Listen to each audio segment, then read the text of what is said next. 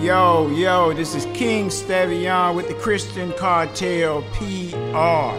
Today we are here to talk about, uh, you know, of course, the Democratic uh, debate. Uh, really, we're talking about Hillary Clinton. We're talking about a little bit about what T.I. said about uh, when they asked him would he uh, pretty much vote for Hillary Clinton, a woman president.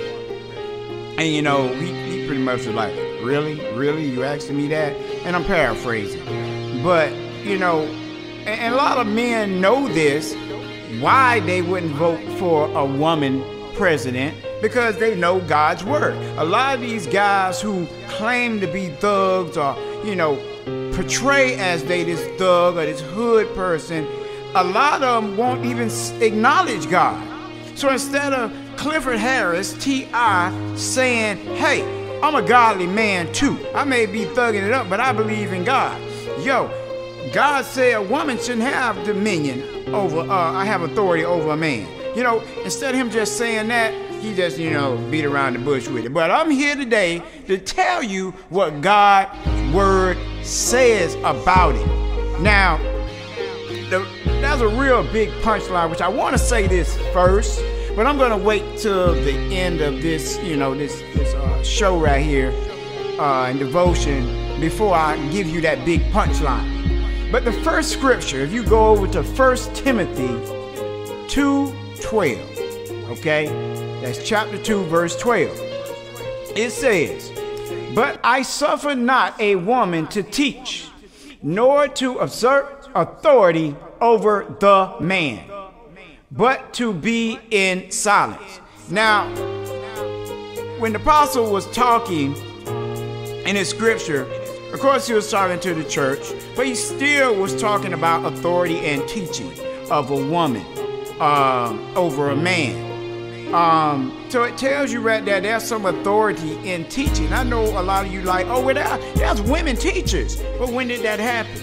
You know, we got to go back to the days uh, of the Bible because a lot of you might say, "Oh, that's that's a book over 2,000 years old." It's, it, listen here, it, it's older than 2,000 years. Do your math and you'll figure it out. but if you go back then, were there women teachers? Were there women teaching anything? Was women teaching women? You know, well, were women just only teaching kids? But it says men, you know, over man. So I just wanted to point that out because it talks about the authority and, let you know that there's some authority in teaching. Now we're going to go right on to the next one here, which is Genesis 1, verse 26 through 28. And it reads like this And God said, Let us make man in our image. Now I'm going to pause right there. I got a comma right there, so I'm going to slow down right there. He said, let us. So that lets you know right then and there that there were two men. Two men. So how can we make a man in our image if there's one is a boy and one is a man, or there's one man and one woman? That let you know there was no woman sitting right there we said let us make man in our image. Because if it was a woman and a man sitting there, then you, that man would have been made with two private areas. And he would probably have one breast and one chest. You know what I'm saying? Which that looks ridiculous anyway. But let you know that was the Christ up there. You got a lot of people say, oh, Christ is God. God is Christ. Listen, God is us as long as we allow God to dwell in us and we do the things of God. We're one with Him, like Christ said, I'm one with the Father. He ain't say, I am the Father, I'm one with the Father. So that lets you know. And then He said, doing that, they're one. Okay, I can go on and on and on about that, but that's a whole nother different area I can speak on. Um, but I'm gonna go on and read. After our likeness, and let them have dominion. Now, see right there, he says, and my, and my, and my cord kind of messing up here. And it says, and let them have dominion over the fish of the sea and over the fowl of the air. Now, when I saw that, I said, oh my gosh, that is some power. He gave us power from the beginning over the fowl of the air. Let's go on. I'm going to let that dwell into you for a second. It says, and over the cattle, and over the earth, and over every creeping thing that creepeth upon the earth.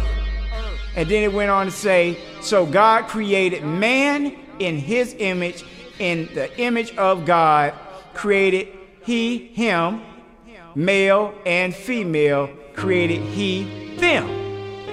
So, and we know that God put Adam in a deep sleep and took and made woman from Adam's rib. So, right then and there, she was a smaller part of the bigger man.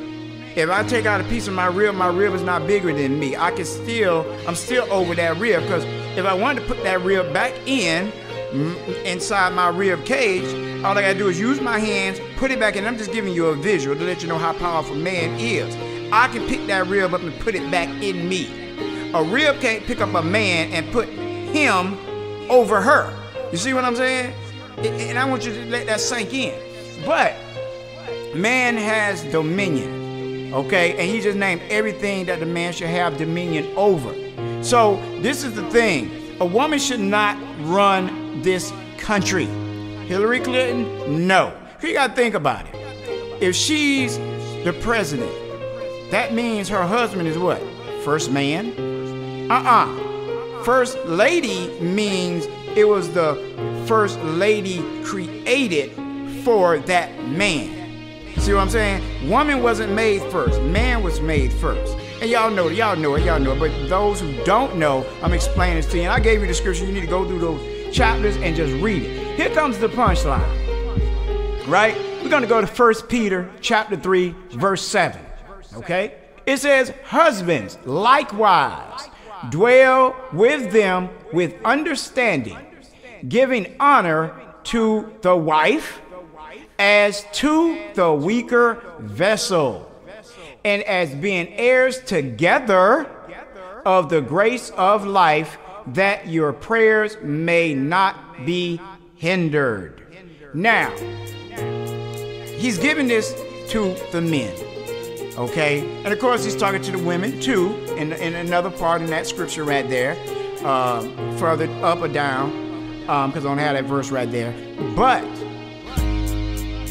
if the husband respects his wife, now you notice the husbands, he hit the husbands first because we're the heads. It starts with us in order for the women to really know how to give respect. If a woman don't have a, a, a, a teacher to teach her, then how can she learn how to treat her husband? She don't learn it on her own. She ain't gonna just learn it from another woman. Look at it in the beginning. Who taught uh, Eve? Of course, God gave man that wisdom, and He shared that wisdom with the woman. And of course, it was confirmed once it, it, it sunk in her spirit that it was true. Okay? But Satan came along, you know how that happened, and this is how the world is in the situation it's in today. But the point I'm making here is this. Even with Aquila and Priscilla, if y'all know that scripture, the woman wasn't around teaching alone. I always heard people say, oh, she taught, she taught, she taught. No, no, no, no, no, no, no. They taught together. But if you notice in the scripture here, it talks about uh, being heirs together. And of course, he's talking about everybody, but the husband and wives too. Okay, we share in what God gave us together. There, the woman is the helpmate, help me to help the man. Help him do what? Help him carry out the duties that God said. That's why she's called the first lady. She's made for that man's rib. But a woman should not run the country because it's God's order. Now, the punchline this is, and this is what it is, you know, once we go out of God's ruling, His order, things are chaos. You got women in the church today who are claiming to be bishops. The Word of God says clearly that a bishop should have one wife. Now, how did the woman wind up having a wife? See, and a lot of women use that to say, he said a bishop should have one wife. So I went and got me a wife. And now you got two women sitting up there married. But the word of God says that a woman should not do what a man does, and a man should not do what a woman does. That kills that right there. So if a man is a bishop, a woman cannot be a bishop.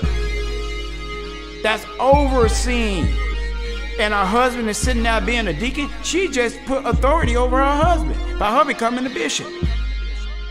And people need to realize this. Talking about they're an apostle, but the husband is the bishop. You are out of order. You know it is. You know there's orders to the, the leaders in God's fivefold ministry. And of course, the bishops is of the church. That's not part of the fivefold ministry, but still in ministry. So, the point I'm making is that we stick to God's word in the order He gave us, like with the heads. God's the head of Christ, Christ is the head of man, man is the head of woman. It don't go from God to Christ to Christ to man, from man to man, from man to man, and then woman to woman to woman to woman, to woman to man, to woman to man. It don't go like that. But the first part, let's go back. God to man, God to Christ, Christ to man is correct. But when it goes all backwards and discombobulated, that's not how it goes. You got to stick to God's word, and you shall live. Okay? And when I say live, live spiritually. The way the way the world is today, gays marrying gays, people killing, all this stuff is going on is because they got out of God's order. Let's get back to God's order, folks and we will be successful in this world, in the spirit, and we will recognize that we're part of one body. And like it says, we will be heirs together. Okay, I'm King Stevian. Download the song plan in the background. It is for free. Support this show. Forward this to all your friends on Twitter, on Facebook, on Instagram, wherever you are, and get the word out put some inspiration and motivation in people. Yes, okay? God bless. I'm out. Give you thanks. Because it's you who woke us up this morning, Father God. It's you who kept us alive and our children alive. So we're here today to let them know why we're so thankful for you. Thank you, Lord. I thank you, Lord. I thank you, Lord. Thank you, Lord. I thank you, Lord. I thank you, Lord. Thank you, Lord. I thank you, Lord. I thank you. I thank you. Thank you, Lord. By the grace of God, I am here this day. So I thank you, Lord, in every way. Whether flowers bloom or problems burst, always remember to put the Lord first. I thank you, Lord, for being so kind, as it was you that cleared my mind. With a heart and soul you have given me, I give you my love as it's meant to be. Serving you, Lord, is never a chore, as my heart desires to serve you more. Thank you, Lord, I thank you, Lord, I thank you, Lord. Thank you, Lord, I thank you, Lord, I thank you, Lord. Thank you, Lord, I thank you, Lord, I thank you. I thank you, thank you, Lord.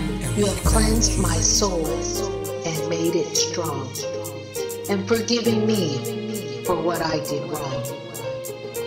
The Lord is so precious in my heart. I should never leave you or ever to part.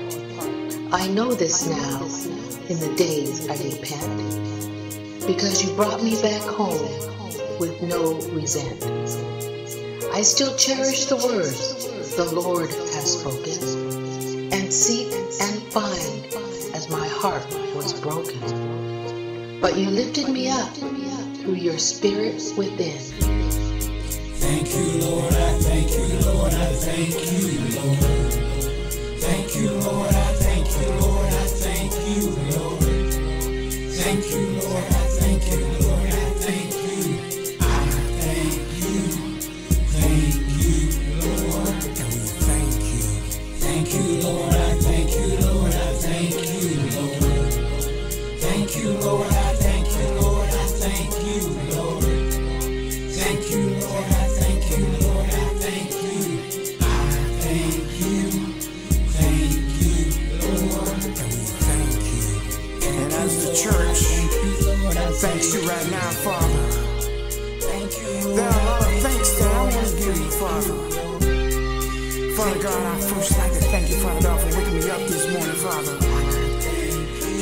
To, but you did, Father.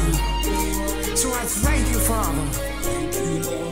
Thank you for allowing me to see another day, Father. Father God, I thank you for allowing me to see my kids, Father. I thank you, Father God, for putting food in my stomach, Father. And give me knowledge and wisdom, Father God, of your word, Father. Father, I thank you, Father God,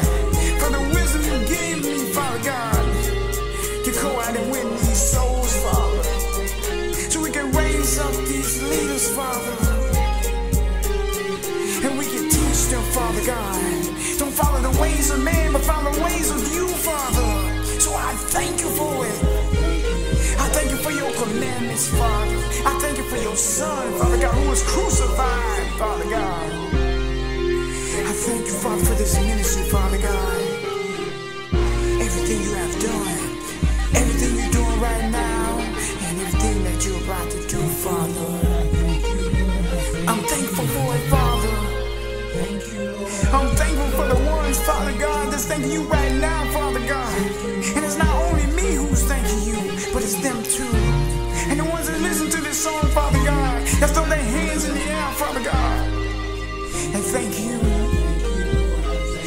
dead, Father. You ain't have to do it, but you did. You gave me another day, Father God, to give you praise and worship, Father God. As I worship you in spirit, Father God, and in truth. And this is the true Father. We thank you, Lord. I thank you, Lord. I love you, Lord. Thank you, Lord. I thank you, Lord. I thank you, Lord. Thank you, Lord.